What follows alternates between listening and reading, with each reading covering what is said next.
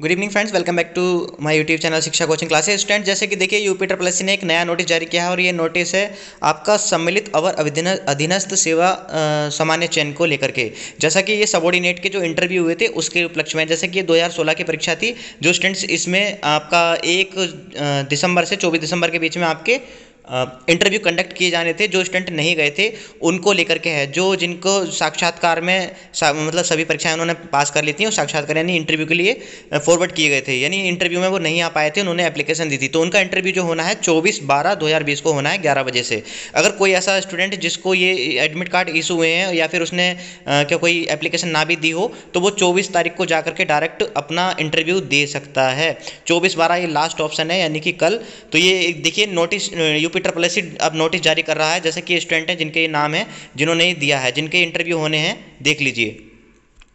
तो स्टूडेंट आप सभी को यही बताना था कि ये स्टूडेंट हैं जिन्होंने एप्लीकेशन दी थी तो इनके इंटरव्यू कंडक्ट किए जाने हैं।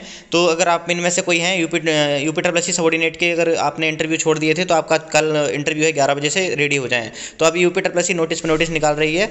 वीडियो में इतनी अगर वीडियो अच्छी लगी तो लाइक करें, चैनल को सब्सक्राइब करें। थैंक यू सो मच जय हिंद, जय भारत।